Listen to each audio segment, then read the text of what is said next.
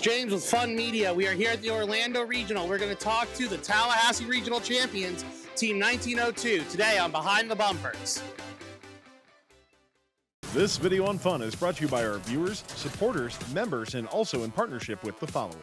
AndyMark provides superior service with the reliability that teams expect. Check out their sport gearbox and ratchet sport options to their tried and true compliant wheels used by teams all over the world. From mechanical and electrical products to tools and hardware, head on over to andymark.com for your one stop shop of high quality and affordable solutions. Earn up to a $5,000 sponsorship for your team or $2,000 individual prize when you provide a video submission to the Altair Global Student Contest at altair.com slash contest. You can build better robots faster with Altair tools and provide multiple video submissions for the contest. Download Altair tools for free. Scan the QR code or go to altair.com slash contest for further details. All right, Joe, you wanted to go over some of your intake? Yes, so our intake is a slap down intake capable of intaking coral from any direction. Um, Isaac, can you help me bring this out? Yep.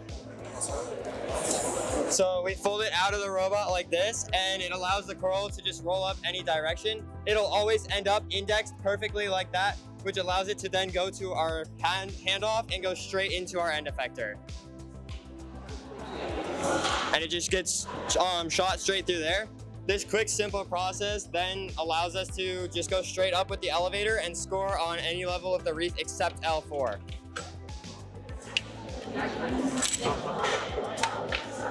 Our intake um, uses just horizontal wheels and then vertical wheels in the back with a twisted belt to translate the um, force between the wheels. And this allows us to simply get through all the algae and it's or coral and it's been super consistent throughout all of our matches. All right, when designing this in- intake in 2023, a lot of teams had issues with the cones because it's not a uh, a shape that is the same on all sides. Did you guys have anything that you specifically tested in order to be able to deal with the coral, which is very similar? Um, so we actually did a prototype that looks almost identical to this one, where we had the set of horizontal wheels and vertical wheels in the back. And we just tested a bunch of different compression levels and different ways to have the wheels and positions. And that allowed us to find one that worked along with these angles of these plates. We found which one worked best for us. And then we just took it to the CAD and got it manufactured actually. And it's worked great with that um, setup. So yeah, we just got lucky and did a lot of prototyping with it. All right. And Isaiah, you were going to tell us some more about the elevator and scoring system? Uh, yes. So, um, like Joey said, our elevator can go from L1 to L3.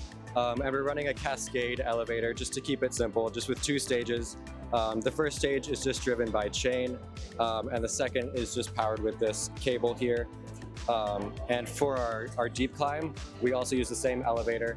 Um, so our driver just drives into the deep cage um, and it swings into the robot into this cutout um, and just rests against these polycarb plates and this one by one. And then when we're ready to climb, the elevator just goes down, um, which pushes on the bottom plate of the deep cage and just lifts us a few inches off the ground. Um, and then at the end of the match, this ratchet uh, locks. It's actuated by a servo and it just locks us in place so the elevator doesn't backdrive um, and then we can just stay hanging. Very interesting. So with the elevator and the and the algae scoring mechanism, you guys don't do net or L4. What led you guys to making the decision for that design trade-off? Uh, we pretty much just wanted to do L1 to L3 um, and just be really, really fast at it and be the best we could be at that and just optimize that as much as we could. Um, and one thing we actually did uh, to help optimize that is we we made our algae mechanism um, so that we could be lined up to score a coral and remove an algae at the exact same time. So for our algae, this just pivots out, this top roller spins um, and to remove the algae, and we can do that at the same time that we're scoring a coral. Very interesting. And then Samuel, you were going to go uh, tell us about some of the programming, the alignment that you guys are doing. Yeah. So this year it's a pick and place game, and it, the tolerances are extremely tight. You have like four inches interior of the pipe, so manually alignment with that is going to be really tough. So we implemented auto alignment, which allows us the driver just to press a button, and then we immediately just snap to whatever the closest waypoint is, and aligns to the reef that way. And then we have a separate one for L1 because that is a different lineup because we decided that, we determined that uh, to line up with the L1, you can't be at the same levels as the um, reef. So that's another button. And then also we have object detection because we decided to go with a floor intake. We found out that intaking from the human player station wasn't going to be feasible because of the risk of dropping a coral into the robot, trying to align with the um, human player station. So this allows us to do multiple pieces of coral in autonomous. Very, very cool. So I'm seeing what looks like four camera mounts, but three cameras right now. Is that correct? Yes, that is correct. So what exactly is each camera looking at and which decisions are being Yep. led by each camera? So these two front cameras, uh, they're placed so that way we can always see an April tag no matter what, even pressed fully against the reef.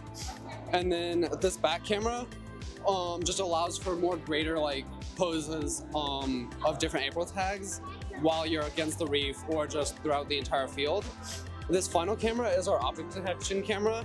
It's angled so that way it's just in line with the bumpers, so that way you get the maximum um, range while still being able to detect coral. All right. Very cool. Thank you guys so much. You already have a competition win and a Hall of Fame ticket to get you to championships. Is there anything that, uh, that you guys think you're going to change between now and championships? I don't think there's oh, I don't think there's anything major that we plan on changing. Probably just optimization of what we already have. We are already proven to be a top L3 and L2 scoring robot, and we just want to get faster at that, and hopefully that gives us a good chance. Um, with the speed and agility that we have, it should be pretty good, and more practice is always nice. All right. Thank you all so much.